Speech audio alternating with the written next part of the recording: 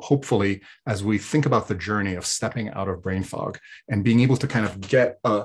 a horizon or a vista to work towards, right? Um, instead of feeling this creative impulse and not having the direction and ability to put the pieces together to get us from point A to point B, right? As we step out of that haze and that fog,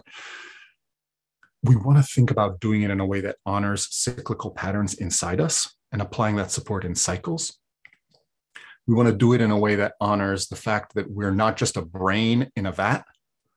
but we are actually full human beings that live in a context both outside of us and inside of us, right? And I'm going to ask you to do this, and this is sort of my clinician's mind, as we go through the different pieces that I feel are relevant um, to stepping out of brain fog and getting on this journey to finding this vista, getting the clearing, right? Let's think about how we can measure success and how we can be observant of shifts and changes that are happening so that we can get a sense of yes, things are improving yes, these herbs, these mushrooms, these interventions, the daily walk that I've committed to, they're all making a difference.